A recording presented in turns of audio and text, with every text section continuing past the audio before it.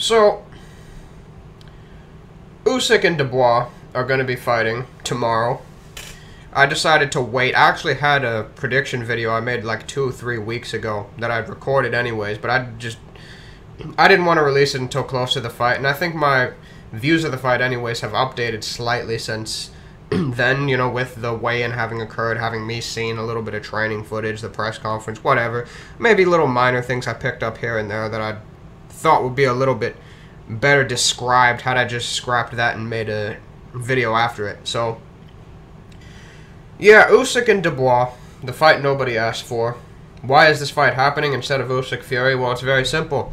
Because Frank Warren has two or three Queensberry fighters in line for a title shot. D- Daniel Dubois and the winner of Zhang versus Joyce are going to be the mandatory challengers for Usyk should he retain his belt beyond Hrgovic, who is next in line after Dubois, assuming Fury does not fight him. Now, what this effectively means is that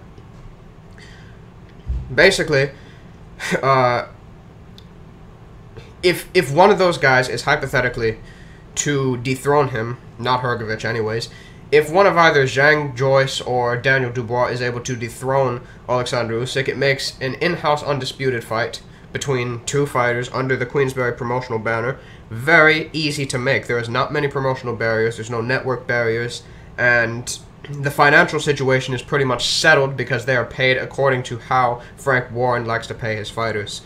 Uh, whereas Usyk and or, or should I say Krassyuk and Frank Warren likely value themselves at a different price, and also the fact that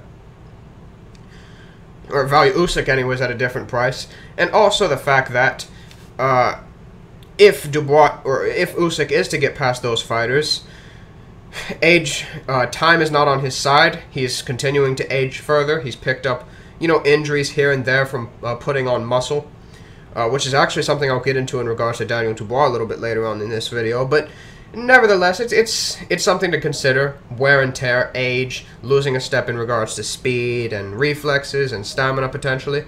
Uh, those things could all work in Tyson Fury's favor, being the bigger man that he is, and being the fact that he hasn't taken a whole load of wear and tear beyond those Deontay, uh, Deontay Wilder fights. So, in that regard, it kind of pans out pretty well for Queensberry if they're able to, you know, get through on this, which means I don't think an Usyk Fury fight is at all likely to happen after the Dubois fight. If it does, good, but if it doesn't, uh, don't, don't be fucking surprised. But, yeah. How do I see this fight going, anyways? We all know what Usyk, his style of fighting is. We all know what he brings to the table, what he's achieved, blah, blah, blah. Look, Daniel Dubois, as far as what I think of him as a fighter, which is, I think, I guess, more relevant considering prior knowledge as far as Usyk goes. Daniel Dubois has beaten guys like Kevin Lerena, although that fight was a little bit bizarre. Some people say it was fixed. I wouldn't be surprised at all. He's fought guys like Joe Cusumano, who's since established himself to at least be a decent heavyweight. He beat Kownacki. You know, he's beaten Nathan Gorman at British level, so I guess at worst he's beyond that. He's you know European level, and and he's beaten other guys. He took Kevin Johnson the distance early in his career, but came through that fight. He fought Joe Joyce, which is the main, most notable, and most significant fight of Dubois' career thus far to this point by far. How did that fight work out for him? Not particularly well. I remember after the fight, I actually picked Dubois to win the fight, but I remember after the fight thinking, you know what, in hindsight, he probably performed pretty well when you consider uh, his lack of experience relative to Joe Joyce. He did, you know, hang in and was competitive in that fight, but Joyce was able to comfortably outbox him. He showed him a lot of feints in the center of the ring, and he was able to make Dubois tentative, busted up his eye socket, and made him quit. Uh, Kevin Lerena was able to catch him on the temple himself. Richard Lartey, by the way, was able to catch him on the temple and hurt him. But Kevin Lerena was able to uh, catch him on the temple. And some people say it was an ACL tear, but, you know, maybe it could have been a knee injury. But honestly, I don't really believe it. Uh, I think, I honestly think he had, may, maybe it was a knee injury, but I more so think it was uh, the fact of him being discombobulated from being caught from a temple shot. Because if it was a torn ACL, he would not have fought this soon. Even though it might be nine months after that fight, uh, torn ACL prognosis is, can last up to a year. And if that's the case, and if he goes through an injury that significant, he gets the surgery, whatever, he would have probably had a tune-up fight by now. Uh, he would not be in this position.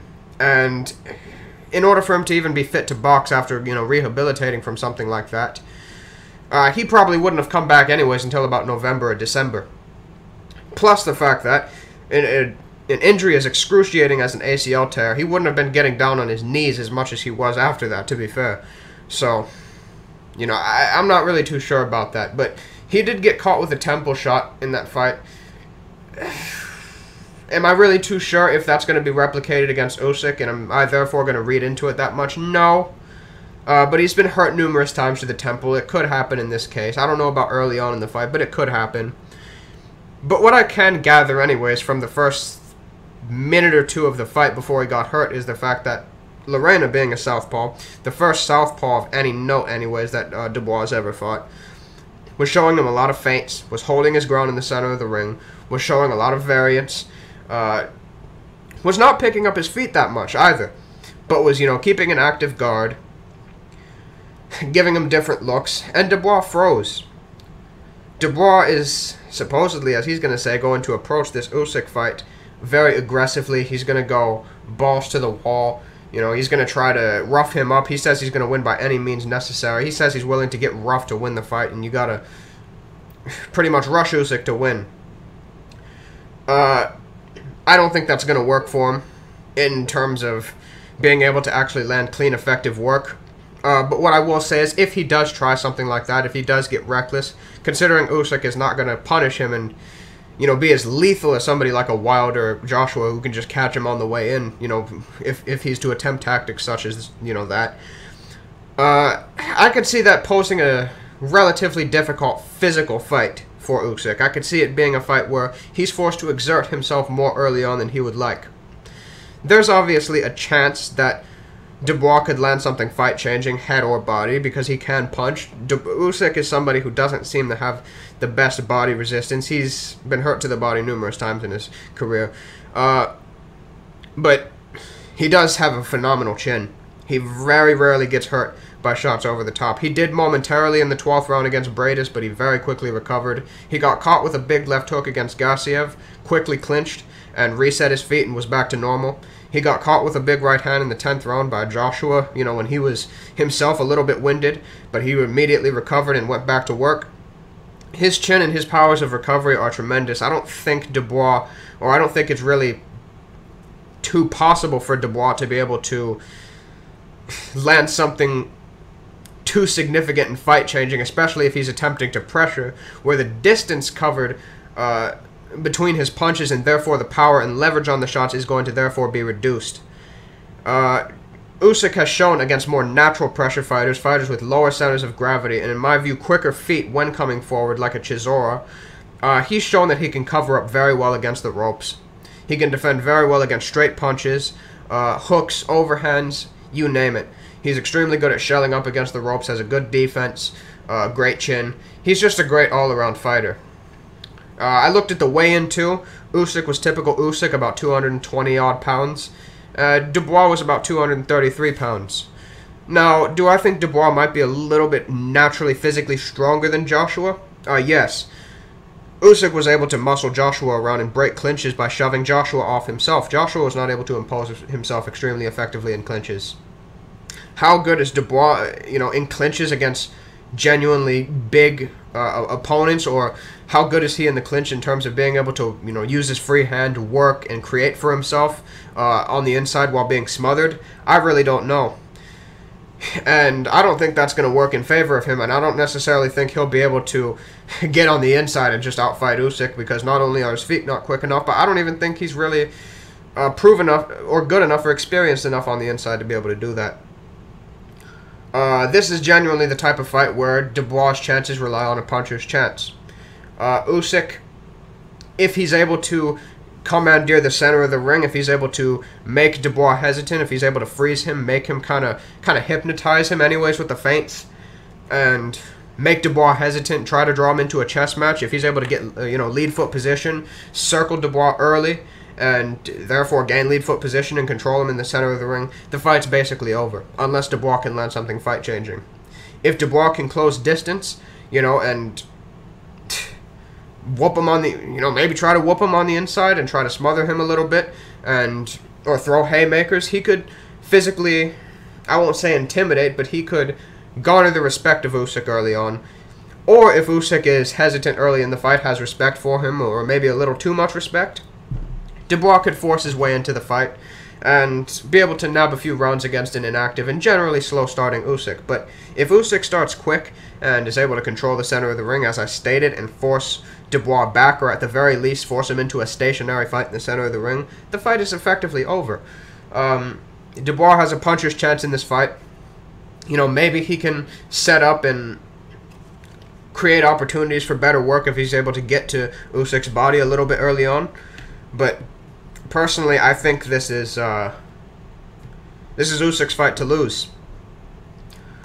Uh, Dubois has shown that he can be made to doubt himself. Uh, one thing I will say about this fight, though, is I do think he will show up a little bit more mentally determined and uh, a, a, little bit more with a little bit more perseverance and I think willingness to go out on a shield and and ride out the storm, if you will persevere through adversity because in this fight, unlike all of his previous fights, he really has nothing to lose. The consensus is that he's overmatched here. Boxing wise, I mean, pretty much every attribute apart from his size and his power, he's largely significantly overmatched, and he's never been tested at this level before. And he's fought even at a level before this and gotten outboxed and lost. My pick is Usyk, probably by late stoppage. Wouldn't be shocked if it went to points. And hey, Dubois can land a fight-changing shot and maybe stop him. It, you never know. It's possible he can land a uh, unpredictable, perfect shot because at the end of the day, it's happened before. You know, Paul Williams took bigger punches, uh, bigger punches from bigger punchers than guys like Sergio Martinez. And what happened when he fought Martinez in the rematch? He got caught with a perfect shot. So you never know.